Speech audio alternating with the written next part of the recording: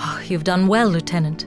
Phyllis is safely back under our protection. You are to be commended for your efforts on Neverwinter's behalf. Now that the matter is settled, perhaps we can turn our efforts to problems outside of Neverwinter's walls for once. The docks would not prove so important and tempting to thieves if trade routes around the mare were not so dangerous.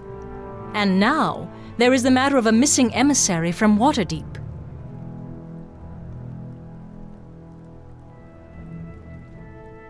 We don't know who Waterdeep sent specifically, but he'll be carrying documents proving his identity.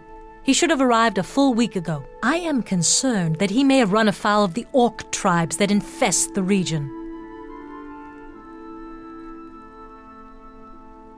Usually the tribes offer ransom demands, yet no demands have been forthcoming, which leads me to suspect that they do not have him captive, but that could quickly change. So I need you to investigate the matter as soon as possible. If you can find any sign of the Waterdeep emissary in Old Owl Well, then we would welcome news of his fate. We need the trade and diplomatic relations with Waterdeep, especially in these difficult times with Luskan. I have other matters to attend to. Return here when you have found the Waterdeep emissary, and we will speak more.